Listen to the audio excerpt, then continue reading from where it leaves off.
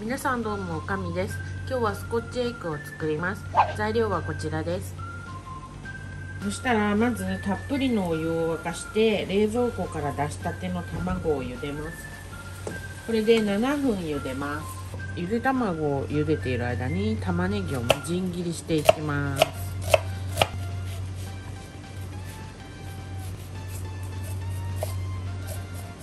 はいこんな感じでみじん切りできました。はい。そしたらひき肉が入ったボウルの中に入れます。パン粉にんにくのすりおろしケチャップ。あればオールスパイスとか本当はあれがいいです。なんだっけ。あのー、ハンバーグ作る時に入れるやつ。なんだっけ。ちょっと度忘れしちゃいましたけどオールスパイスが一番近いんでこれをちょっと入れます塩コショウ。これは下味で軽く入れますそしたらこれをこねます。はい今7分経ったところで火を止めて急速に冷まします。氷水の中でキンキンに冷やします。ひき肉の方も OK ですね。まとまった感じになったらこれで置いておきます。はい。でこんな感じで完全に中まで冷まします。殻を剥いて水気を拭き取りました。そしたらお肉を周りにペタペタしていきます。お肉を広げて真ん中に卵を入れて包みます。こんな感じで2つできました。かわいい。そしたら小麦粉を周りにつけます。はいこんな感じですね。粉をはたき終わったら小麦粉が大さじ3水大さじ3を混ぜたものをつけます。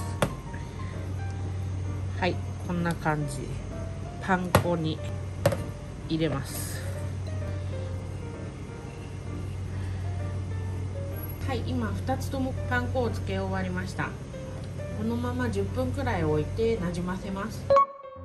油を用意して170度に熱してください。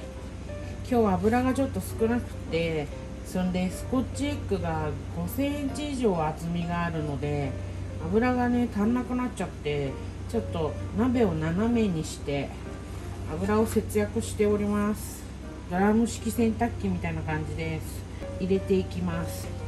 ここで最後に形を整えると綺麗に上がります。油少ないんで1個ずつ揚げていきます。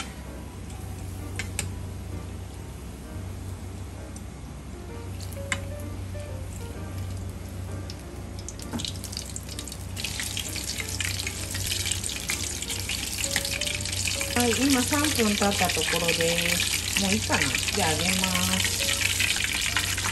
それでは切ってみます。半熟になってるかな。おおわあとろける半熟ではないけどでも美味しそう。もう一個も切ってみます。うわこっち半熟だった。こっち黄身ない。はい盛り付けます。こっち黄身ついてた。でソースなんですけどウスターソースとケチャップを1対1で混ぜます。はい。これでソース完成。いただきます。じゃあこの半熟のやついただきます。すごいボリューム。